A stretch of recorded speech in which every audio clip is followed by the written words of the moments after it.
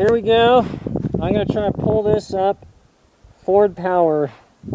We'll see how it goes.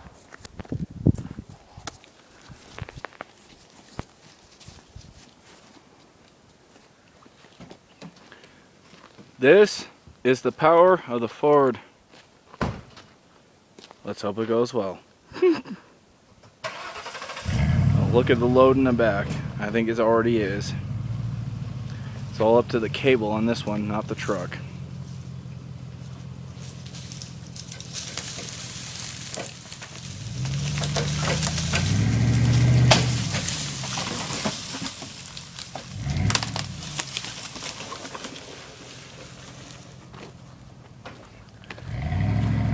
Now that is the power of a fucking good Ford.